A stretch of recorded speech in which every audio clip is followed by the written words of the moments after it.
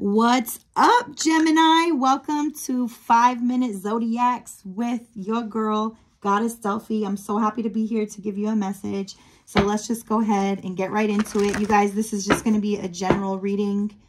Um, I do personals, so hit me up if you want a personal. And hit the like, share, subscribe button. Take what resonates and leave what doesn't, all right? So let's get a message out for Gemini. Prime Source Creator, Jesus, Holy Spirit Mother, Ascended Masters, Galactic Angels of the highest divine truth, Ancestors of the highest divine truth and light. I ask you to protect me, guide me, and give me the highest message for Gemini. The end of a tough cycle approaches, guys. So that's beautiful. Capricorn energy out here as well. A time to give rather than take. So,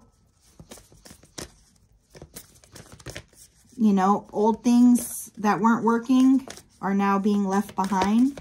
And I feel like you're happy about it because there's new there's a new flow coming in here. Yeah, look, a new start is coming. There's a new flow coming in and it has to do with accomplishing your dreams.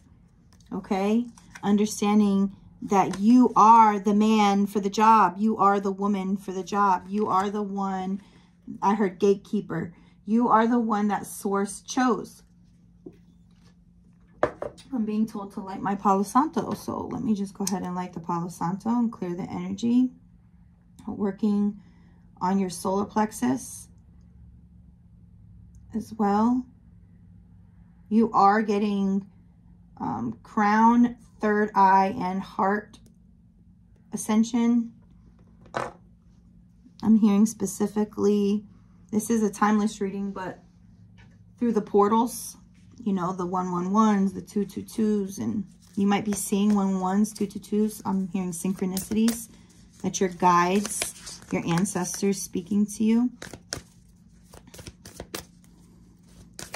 Message for Gemini. It's time for healing. Healing that solar plexus. My right ear just started ringing, so you guys might be getting ringing in the ears.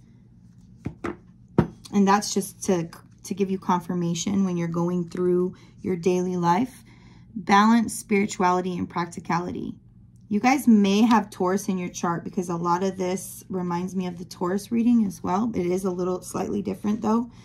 But it's so important for you to remain balanced, okay? Because I feel like you can go, you know, and it's funny because this is a Gemini reading, but I feel like you can go either way.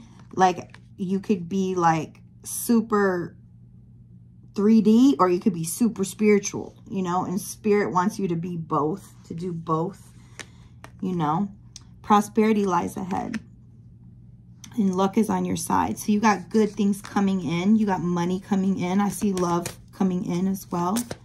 I heard who shot the sheriff. I don't know what the fuck that means. Who shot the sheriff? Hmm. Oh, man. I don't know, maybe you felt like you were always in control of your of your love life or you're you're you feel like you were super what is that called? Like disciplined when it comes to your heart. Um, but I feel like your heart is going to be struck by prosperity and love and abundance. And that's beautiful. Ashe. Your dreams need a practical plan. So, yeah. Show the world the real you. So, your dreams need a, a practical plan. You guys write down, you know, a vision. Write down your manifestations. Write down what you want to accomplish. Write down how you're going to accomplish it, how you're going to get there. Source Creator, message for Gemini. Holy Spirit, message for Gemini. sweeten. What is mine to share? The honeybee. So you got the honeybee totem coming in here. Okay? Sweeter than honey. I feel like your soul is so sweet. I feel like maybe people, everybody doesn't see you like that, Gemini. Like maybe people think that, people think that you're sweet, but maybe they're afraid that you, because you have a side that might sting you. You know, bees are sweet. They can give you honey, but they can also sting you. What is mine to share? Look, charm. So you're very sweet and charming here. What if everything already is working out?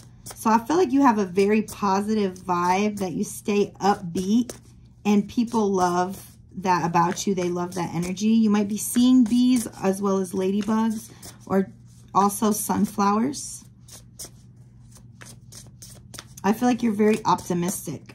And I feel like you want to share your optimism with everybody, which is beautiful. But also, you can tell when someone's trying to charm you. I heard snake charmer. You can tell when somebody's trying to charm you. Um, look, stalk. You can tell when somebody's trying to stalk you or charm you. Hold up. this shit made me laugh. Because it's like, it says, is my pursuit honorable and focused? So I feel like somebody's intention might be because they want the honey, if you know what I mean. And it's like they want your sweet energy. They want your they want your charm and they know you want to share it too. But at the same time, it's like what is these people's focus? Is it honorable? You know? And I feel like you're really good at being able to tell if somebody's intention is honorable or not. Okay, this is the last card. How can I know myself as absolute? B. So I feel like, here's the sun energy.